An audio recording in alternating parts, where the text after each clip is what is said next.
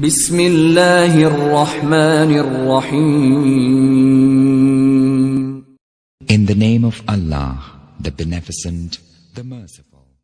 अल्लाम वरहमतुल्लाहि वबरकatuh दोस्तों आज हम बात करेंगे पनीर के बारे में। पनीर अरब में एक मशहूर गज़ा है और 1400 साल पहले से अल्लाह के प्यारे नबी हज़रत मोहम्मद मुस्तफ़ा सल्लल्लाहु अलैहि वसल्लम के ज़माने से इस्तेमाल किया जाता है। हदीस में मौजूद है कि अल्लाह के नबी सल्लल्लाहु अलैहि वसल्लम की खिदमत में पनीर पेश किया गया। आपने उसको चाकू तलब करके उसके टुकड़े टुकड़े फरमाया। पनीर इस वक्त बाज़ार में दो किस्म का मिलता है। एक है साल्टड जिसे नमकीन कहा जाता है, और दूसरा अनसाल्टड जिसको गैर नमकीन कहते हैं। आज हम यहाँ बात करेंगे अनसाल्टड पनीर के बारे में, यानी गैर नमकीन, जिसमें नमक ना हो। तो ये अनसाल्टड पनीर इंसान के मैदे के लिए बहुत ही मुफीद है और बहुत ही फ़ायदा मंद है, ख़ास तौर पर उन लोगों के लिए जिनका मैदा सख्त हो जाता है या फिर पाखाना उनका सख्त हो जाता है और उनके लिए दुशारी होती है। इसकी वजह से बड़ी बड़ी बीमारियाँ पैदा हो जाती हैं। तो ऐसे मौके पर ये पनीर उन सब के लिए राहत का ज़रिया है। और किताबों में लिखा है कि ये पनीर जल्द हज़म भी हो जाता है जब इसमें नमक ना हो।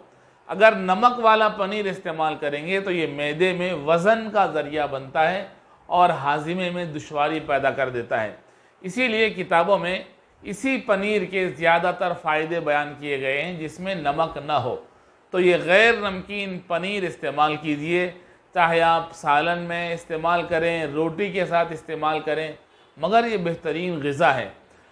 इसका दूसरा बड़ा फ़ायदा, कुछ लोग ऐसे हैं कि जिनके जिसम में गोश्त कम है, यानी हड्डियाँ नज़र आ रही हैं, और उनके लिए ज़रूरत है गोश्त की, और वो चाह रहे हैं कि पुरगोश्त बन जाए, जैसे नबी पाक सल्लल्लाहु अलैहि वसल्लम का जिसम अथर था, और उनके बारे में किताबों में, हदीसों में मिलता है कि आप पुरगोश्त थे तो पुरगोश्त होना एक मुस्तकिल खूबी है आदमी की, इंसान की। तो ऐसे लोग जो दुबले पतले हैं, उनके जिसम में गोश्त नहीं है तो तिब की किताबों में लिखा है, और ख़ुद रसूलुल्लाह सल्लल्लाहु अलैहि वसल्लम के हदीसों की रोशनी में जो इलाज बताया गया, किताबों में, जो ख़ास तौर पर तिब नबवी नामी एक किताब है, उसमें लिखा हुआ है कि ये गोश्त को बढ़ाता है ये पनीर जिसमें नमक ना हो।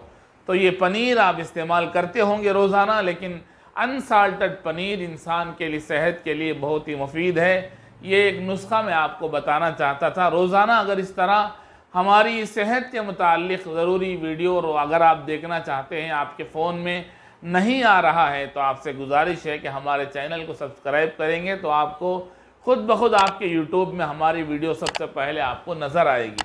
इसलिए गुजारिश है कि आपके, हमारे चैनल को सब्सक्राइब कीजिए। मोहम्मद तल्हा रशादी ऑफिशियल अगर सर्च करेंगे तो हमारा चैनल खुलेगा। अगर ये वीडियो पनीर की आपको पसंद आई और आप चाहते हैं कि आपके दोस्त अहबाब में इसको बताएँ, इस बात को, इस पैगाम को पहुंचाएँ तो इस वीडियो को हमारे लाइक करके आगे शेयर कीजिए। अल्लाह ताला आपको सेहत और तंदुरुस्ती अता फ़रमाए। अल्लाम वरहमल वर्का